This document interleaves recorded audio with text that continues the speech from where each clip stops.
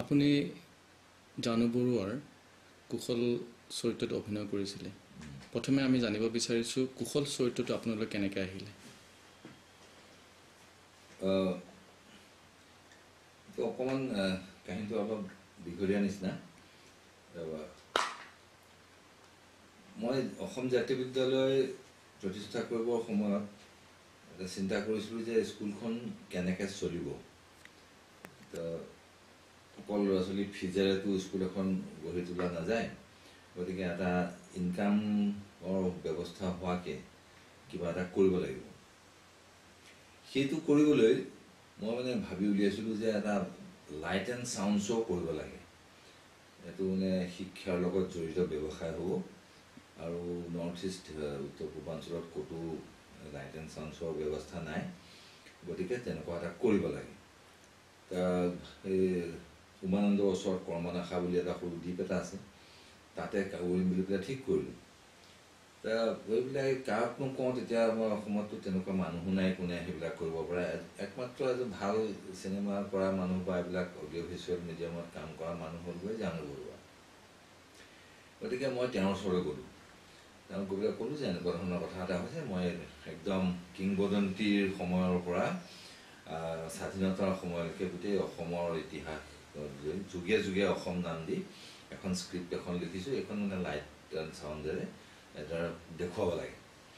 তেতিয়া তেওঁ ক'লে বহুত খৰচী কাৰবাৰ ইয়াৰ মানুহে নোৱাৰিব। তাৰপিছত তেওঁ ক'লে ঠিক আছে বাৰু মই ভাবি চাওঁ। এনেকৈ ক'লে তাৰপিছত তেওঁ এসপ্তাহ গ'ল দুসপ্তাহ গ'ল এমাহ গ'ল দুমাহ গ'ল তিনিমাহ গ'ল। মই তেওঁলোকে কেইবাবাৰো ফোন কৰিলোঁ বম্বে যে আপুনি কামটো কিবা কৰিলেনে? তেখেতে মানে বাৰপতি কিবা এটা নেতিবাচক উত্তৰ দিলে তিনিমাহমানৰ পাছত মই বোলো বাদ দিলোঁ তেতিয়াহ'লে এইবিলাক কৈ লাভ নহ'ব গতিকে মই নিজে কামটো ধৰিলোঁ মোৰ এটা ষ্টুডেণ্ট আছিলে ত্ৰিনয়ন বৰা বুলি সি বৰ্তমান আমেৰিকাত থাকে ইলেক্ট্ৰিকেল ইঞ্জিনিয়াৰ তো ত্ৰিনয়নক ক'লোঁ যে মোক এটা সৰু চাৰ্কিট বনাই দিয়াচোন যে ৰলিং চাউণ্ড আৰু ৰলিং লাইট একেলগে চিন চিনক্ৰনাইজ ধৰণে মুভ কৰিব পৰাকৈ তেতিয়া সি মোক ক'লে আপুনি টকা পাঁচ হাজাৰমান মোক দিয়ক মই এটা সৰু চাৰ্কেট এটা বনাই আপোনাক দেখুৱাম তেতিয়া সি কামটো কৰিলে তাৰ মানে পোন্ধৰ দিনমান লাগিলে সি বস্তুটো দেখুৱালে মই বোলো এতিয়া সৰু বস্তুটোকে এতিয়া আমি এম্প্লিফাই কৰাচোন ডাঙৰকৈ তেতিয়া সি ক'লে যে ডাঙৰ কৰিবলৈ হ'লে গোটেই বস্তুখিনি কিনি পেলাব লাগিব তাৰপিছত এনেকৈ সেইটো আৰম্ভ হ'ল আৰু প্ৰচেছটো এতিয়া জয় দাস বুলি আছিলে বিপিন পাল দাসৰ পুতেক তেখেতে স্পীকাৰখিনি কৰি দিলে আৰু এম্প্লিফায়াৰ গোটেই চাৰ্কিটৰ ব্যৱস্থাটো ত্ৰিনয়নে কৰিলে স্ক্ৰিপ্টখন আহ, হৈয়ে আছিলে। বিষ্ণুৰাভাৰ পুতেক পৃথ্বীৰাজ ৰাভাৰ হতুৱাই ৰেকৰ্ড কৰালোঁ। স্কুলত তেতিয়া ত্ৰিদীপ ভট্টাচাৰ্য আছিলে। ত্ৰিদীপ ভট্টাচাৰ্যে লগতে কোনটো বস্তু কেনেকৈ কোন ফালৰ পৰা হ'লে কেনেকৈ ভাল হ'ব নাটকীয়তাখিনি সি সংযোজন কৰি দিলে। গতিকে আমি বস্তুটো কৰিয়ে পেলালোঁ বস্তুটো। কৰি পেলাই যেতিয়া আমি কৰ্মনাশাত বস্তুটো পাতি পেলাই জানুবৰকো মাতিলোঁ আপুনি আহক চাবলৈ। আপুনি নকৰিলে নহয় কামটো মই কৰি দেখুৱালোঁ চাওক তেতিয়া তাতে বহুত মানুহ গৈছিলে। ধ্যান বেজবৰুৱা বিমল ফুকন এনেকৈ বহুত গোটেই প্ৰেছৰ মানুহ মাতিছিলোঁ। তেওঁলোকে চাই পেলাই ইমানেই ভাল পালে যে তেওঁলোকে কাগজত লিখিলে যে শ্ব'টো পেৰিছৰ আইফেল টাৱাৰত থকা শ্ব'তকৈও ভাল হৈছে। গ্ৰীচৰ এক্ৰপলিছত থকা শ্ব'টোতকৈও ভাল হৈছে। এইটো মানে ভালকৈ চলাবহে লাগে। তাৰপিছত পিছে আনফৰ্চুনেটলি সেইটো কি হ'ল আমাৰ বাৰিষা নৈ পানীৰ সোঁতৰ মাজত গাঁৱৰ ওচৰত যাবলৈ অসমীয়া মানুহে ভয় কৰে বা নগ'ল আৰু। আৰু খৰালি কালি ঠাণ্ডাত নৈৰ মাজত বহি থাকিবলৈও দিগদাৰী পালে। গতিকে এই অসমীয়া মানুহে সেনেকুৱা অনীহাৰ কাৰণে বস্তুটো কমাৰ্চিয়েলি ছাকচেছফুল নহ'লে। কিন্তু সেইটোৱে উত্তৰ পূব ভাৰতৰ প্ৰথম লাইট এণ্ড চাউণ্ড শ্ব' আছিলে। সেই শ্ব'টো বোলে চাই পেলাই ঘূৰি আহোঁতে কিমান চনৰ কথা আছে এইটো ঊনৈছশ পঁচানব্বৈ চনৰ কথা আছিলে।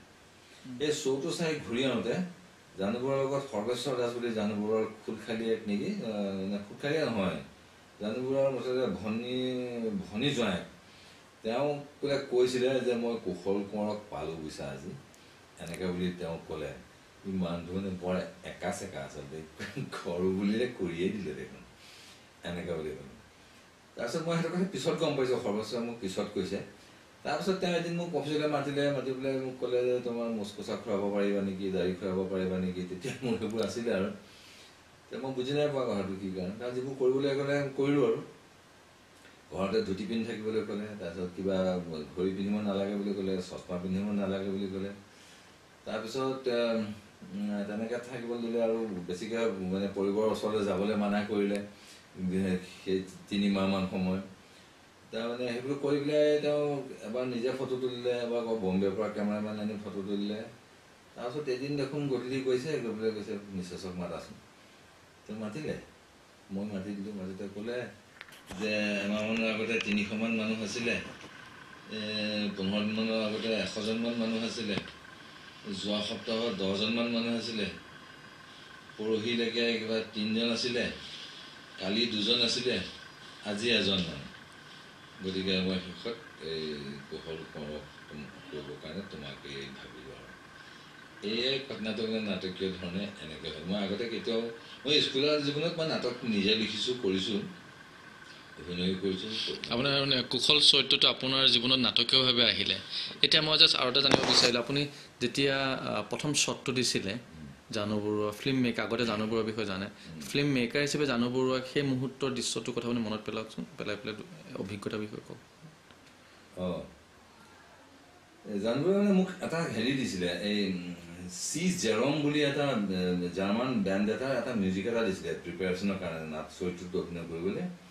সেইটো মানে আচলতে লাভ মেকিং চিন এটাৰ আচলতে মিউজিক তেওঁ মানে কৈছিলে যে এইটো এইটো এই মিউজিকটো ৰিডিমত তুমি সদায় নাচিবা। নাচিলে তোমাৰ গাটো ভাঙি যাব। মই তেতিয়া এপলৰ এক্সিকিউটিভ ডাইৰেক্টৰ আছিলোঁ। গতিকে এটা এক্সিকিউটিভৰ বডি লেংগুৱেজটো অলপ বেলেগ ধৰণৰ হয়। তেওঁ কৈছিল যে তুমি এইবোৰ নাচি থাকিলে এই অৰিজিনেল যিটো ডান্স ফৰ্ম তাত তুমি নাচিলে তোমাৰ গাটো ভাগি যাব।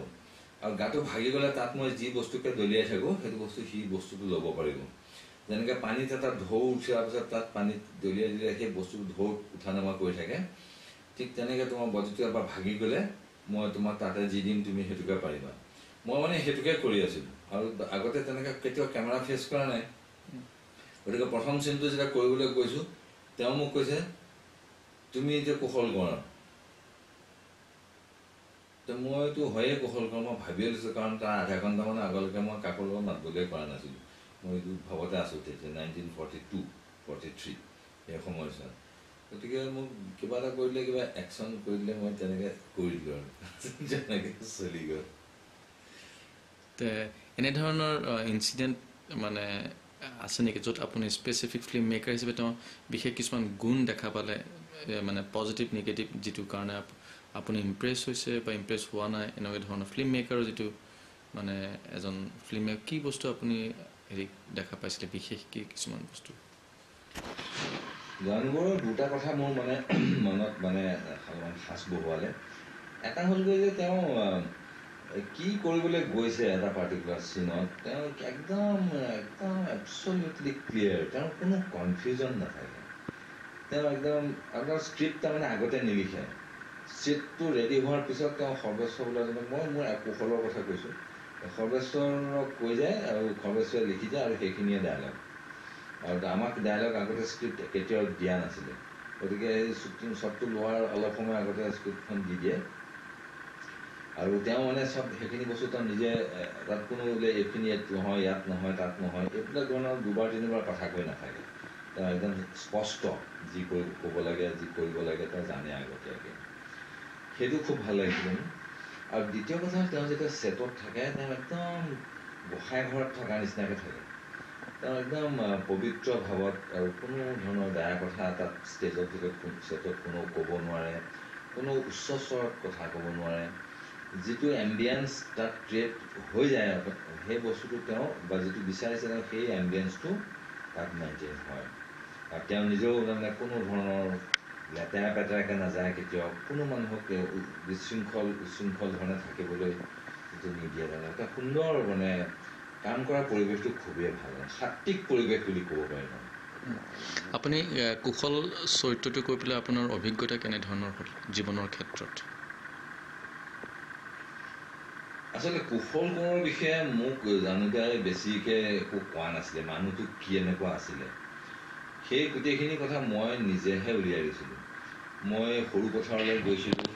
সৰু পথাৰলৈ গৈ পেলাই তেওঁলোকৰ কুশল কোঁৱৰৰ ঘৰ সৰু পথাৰত কুশল কোঁৱৰ দুজন পদেক আছিলে। এজন নাম আছিলে নগেন এজন নাম খগেন। নগেনজন আগতে ঢুকাইছে। খগেনজন আছিলে। খগেনজনক মই লগ পাইছিলোঁ। এই খগেনজন মানে তেওঁলোকেতো যেতিয়া কুশল কোঁৱৰক ফাঁচি দিয়া হৈছিলে তেতিয়া তেওঁলোক একেবাৰে সৰু আচলতে একো কথা তেওঁলোকে নাজানে। কিন্তু এই বহুত মানুহে পাছত যে শ্বহীদৰ ল'ৰা ল'ৰা বুলি এনেকৈ কৈ কৈ তেওঁলোকৰ এটা মনত ভাৱ এটা হৈছে যে দেউতা খুব ডাঙৰ কিবা এটা আছে দেশৰ কাৰণে ঢুকাইছিলে।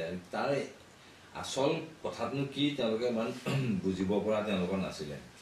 কিন্তু মই এটা কথা মানে বুজিছিলোঁ যে মানুহবোৰ এই সেই পৰিয়ালটো তেওঁলোক কথাবোৰ তাৰমানে হেৰি নহয় মানে বুটলীয়া টাইপৰ কথা নহয়। তাৰমানে কথাটো চিধা আৰু চুটি আৰু খৰংখচ গতিকে তাৰমানে সেইটো মই ভাবিলোঁ যে দেউতাকো চাগে তেনেকুৱাই আছিলে। আৰু পাছত মই অলপমান আৰ্কাইভেল ৰেকৰ্ডছতো মই চাইছিলোঁ। চেচেল হামফ্ৰেজ এজনে ফাঁচি ফাঁচিৰ হুকুম দিছিলে।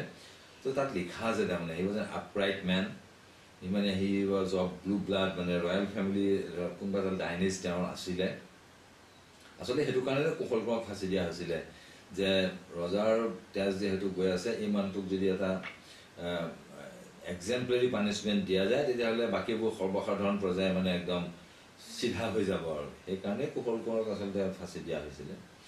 গতিকে ভাল ৰাজকীয় বংশৰ উচ্চ পৰিয়ালৰ ভাল মানুহৰ যেনেকুৱা লক্ষণ তাৰমানে সেইটো মানে কুশল কোঁৱৰৰ গাত আছিলে বুলি পেলাই সেইটো তাত লিখা আছে। টুংখুঙীয়া ফৈদৰ মানুহ বা নবল এ নবল ফেমিলি এনেকৈ বুলি কিছুমান শব্দ তাত লিখা আছিলে। গতিকে মই নিজৰ প্ৰিপেৰেশ্যনটোত তেনেকুৱা হ'বলৈ চেষ্টা কৰিছিলোঁ যে চেলেং পেটেং ভাৱটো যাতে নাহে ক'তো কেতিয়াও। ভাল গহীন দায়িত্বশীল মানুহ এজন হিচাপে যেনেকুৱা হ'ব লাগে তেনেকুৱা। আপুনি ভাবেনে কুশল কোঁৱৰ চৰিত্ৰটো কৰাৰ পিছত আপোনাৰ ব্যক্তিত্ব এটা পৰিৱৰ্তন আহিলে নে অহা নাই নে কেনেধৰণৰ দৰ্শন সৃষ্টি কৰাত আপোনাক সহায় কৰিলে লাইফ ফিলচফি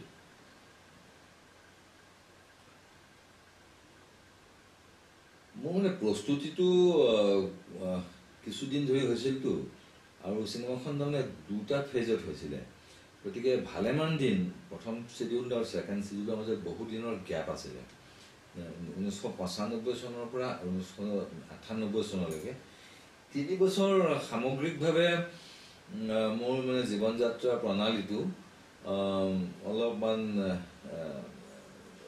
বিশৃংখলতাৰ পৰা মুক্ত আছিলে। মই অলপ হেৰিকে আছিলোঁ। যেনেকে অলপ যেনেকে থাকিব লাগে ঠিক তেনেকেই আছিলোঁ তাৰমানে।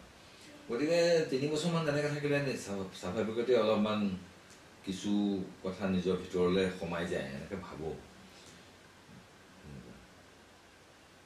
হ'ব এনেই জাষ্ট এইটো হৈ গ'ল মই জাষ্ট এটা জাষ্ট ৰেকৰ্ডে ৰাখি থৈ দিওঁ হা। আপোনাৰ হেৰিটো।